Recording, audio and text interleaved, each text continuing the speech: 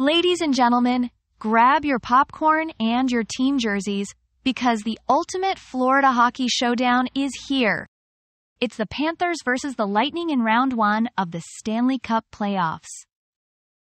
According to AP News, Panthers coach Paul Maurice doesn't need any reminders of what these games mean. He's seen it all. Like Florida leading 9 to 1 and Tampa Bay still skating hard until the end. Talk about commitment. This isn't just a game, it's a gladiatorial contest. The Panthers and Lightning have clashed in the playoffs three times in the last four years. Tampa Bay won the first two series. But will the Panthers have their revenge this year? Keep an eye on Tampa Bay's Nikita Kucherov, who won his second Art Ross trophy this year with a whopping 144 points.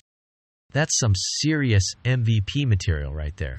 And Florida's Sam Reinhart, with 57 goals, is ready to light up the ice. And let's talk about the goalies. Florida's Sergei Bobrovsky will face Tampa Bay's Andrei Vasilevskiy. Both have had their moments this season, but who will stand tall in this series? It's like a heavyweight boxing match on ice. This series is set to be an absolute thriller. Pride, fight, and all the juice you can handle in one series.